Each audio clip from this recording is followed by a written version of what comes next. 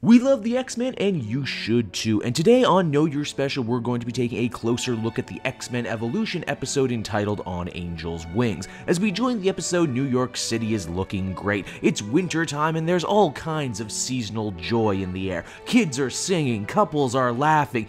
Hitler is a doorman. No, seriously, look at this dude and tell me he's not Hitler. Why is Hitler a doorman? And then we have Warren Worthington, son of rich hotel magnates who has chosen Christmas time to come out to the world as a mutant with wings. This was Angel's first appearance in X-Men Evolution, and the idea of Warren striking out on his own as a crime fighter before becoming an X-Men is taken directly from the comics. Angel manages to save a woman in a wheelchair from an apartment fire because in the world of superheroes, you ain't nothing until you save people from a big fire. It's at this point here where the special gets really interesting because when word of Angel's good deed starts to get around the city, because it's Christmas time, people begin to think he might actually be an honest to God biblical angel. It's a really interesting concept that what people might think of as mutants in this world could possibly be angels in disguise, or as the well read Beast so eloquently puts it, there are more things between heaven and earth, Horatio, than are thought of in your philosophy. Now, because it's Christmas time, most of the X kids are headed headed home, which means the only two people who can chase down this angel stuff is Cyclops and Rogue, because, well, they have no homes to go home to.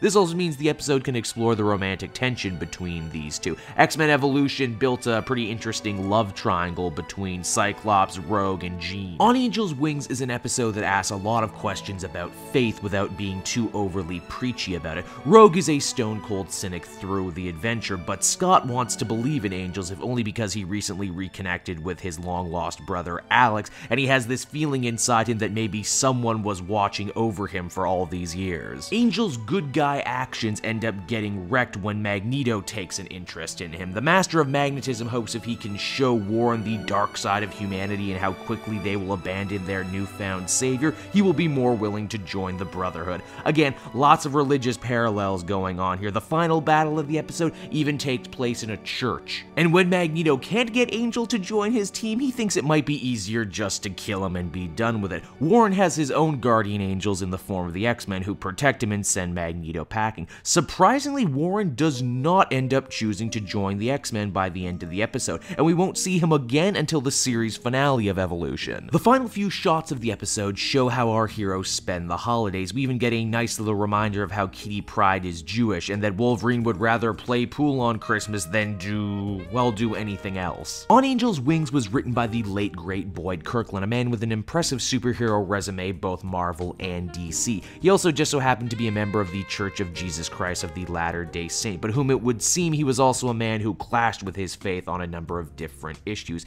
That's why I feel in some ways this episode was Kirkland using art and superhero iconography to work through his own issues, and I personally think that's really cool. On Angel's Wings is just a great special for Christmas time or any time for that matter. So that will just about do it for another installment of Know Your Specials. Be sure to treat yourself to another wonderful Christmas treat from the channel, and I will be back again with another superhero special before you know it.